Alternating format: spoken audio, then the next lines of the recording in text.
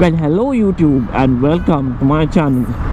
This is Random Vlogger and today we're going to talk about the mighty Hayabusa. The Hayabusa, as we Indians know it, is the Dhoom bike. Uh, if you are not from India, then you might not know this, but you can Google Dhoom Hayabusa. This bike was in production since 1999. Uh, that means 20 years almost 20 years.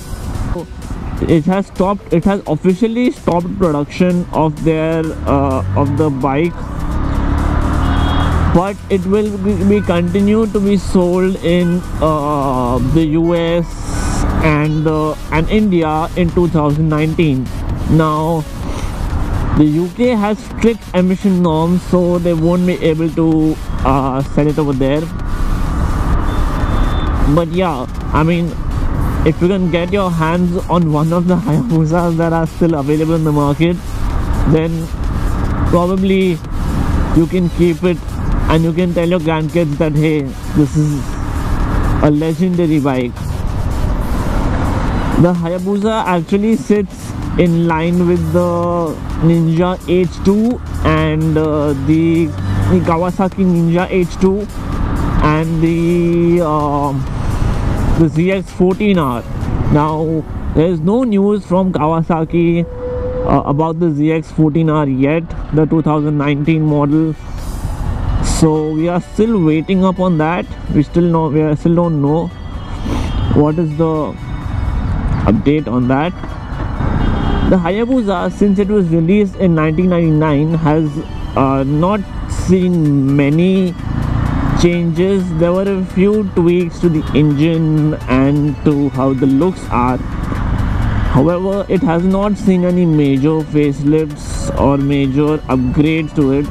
Obviously how much more would you upgrade a hyperbike right?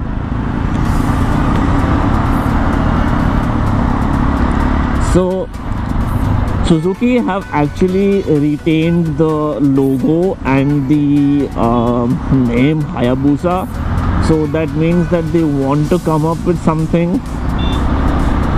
in the near future not not in this year obviously in the near future.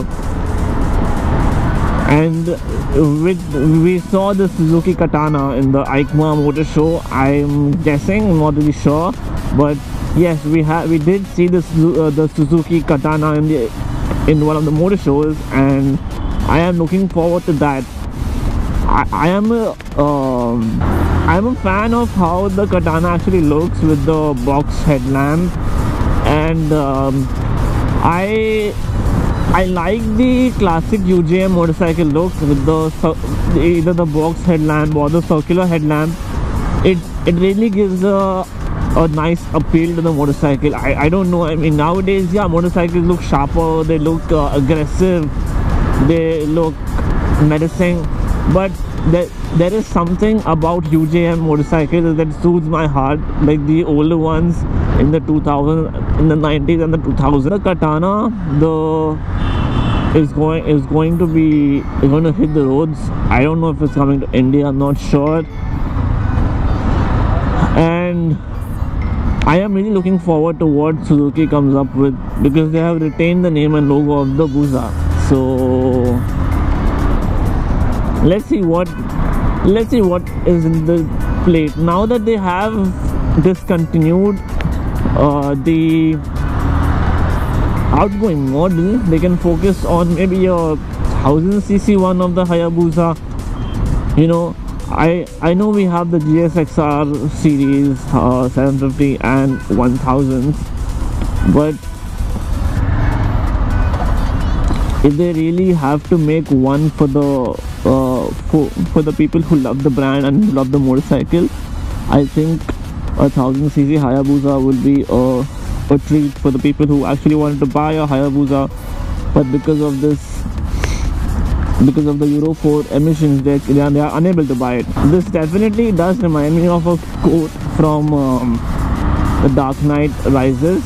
Or the the dark knight where harvey dent says you either die a hero or you see yourself uh, or you live long enough to see yourself become the villain?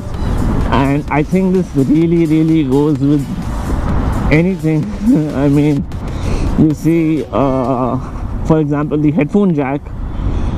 Uh, Apple removed the headphone jack from their phones and people people were not happy with it I mean. But then then it was incorporated by a lot of other uh, brands as well. This is one way. People are coming, coming from the wrong side. Great. That was about it for today guys. This very short vlog. Um, and if you do like my content please subscribe to my channel. I will be posting videos like regularly once a week now. Yeah, if you like what my content is please subscribe to my channel and help this community grow. Laters